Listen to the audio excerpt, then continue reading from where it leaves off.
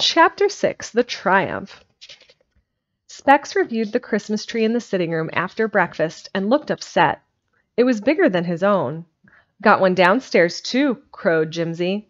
Uncle Abe, he added, he sort of wanted to be awful Christmassy through the whole house. And, and Jiminy Cricket, Specs, it is. Uncle Abe? Who's Uncle Abe? Uncle Abe Sawyer, Jimsy bristled. What you got to say about it? Nothin'. Did you get two trees, Specs? Nah, hain't many folks did, I guess. Tain't nothin' to crow about anyway.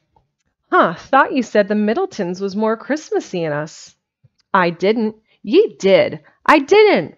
You did too, and I walloped you for it. I'll wallop ye again if you say you didn't. Jimsy, Aunt Judith's gentle voice put an end to controversy. An armistice was pledged. Did ye get skate specs? Nope.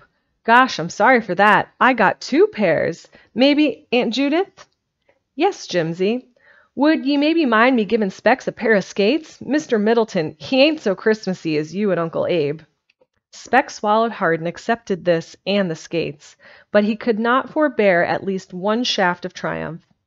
I got a sled, Jimsy. Huh, said Jimsy. So did I. Two of 'em.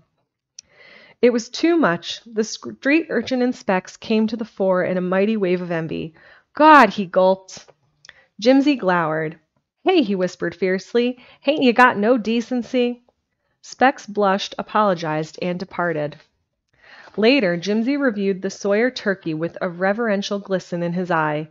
Specs, he yelled from the kitchen window. Ye, Specsy! What do you want? Come over and see the turkey. Ain't got two, have you? demanded Specs with suspicion. Naw, said Jimsy. One's enough.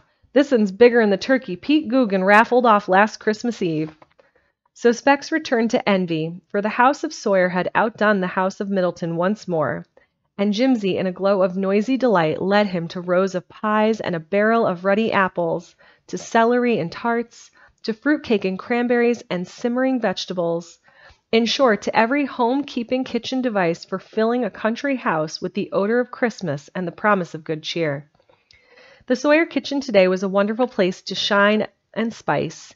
Even Aunt Judith felt the nameless something in the air, for her cheeks were faintly pink, and the hand that smoothed her snowy apron trembled ever so little. Christmas had not come so this many a year. But Specs departed this time with a furtive air of triumph. Mr. Middleton ain't no stiff, he announced. He's going out on the hill coastin' with me this afternoon. Shh, whispered Jimsy fiercely. Do you want Aunt Judith to hear ya? I get awful sick of wallopin' you, Specs. But let me hear you say that again, and I'll baste you good. The kitchen door swung back.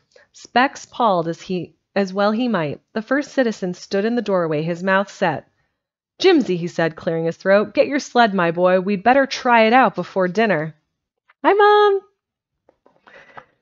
it was a challenge to the Middletons, of course, but afterwards, in a wild moment of panic, Abner Sawyer felt that he would have retracted at any cost had it not been for the wonderful glow in Jimsy's face. He felt a little sick, God help him. He liked Jimsy. He wanted to please him.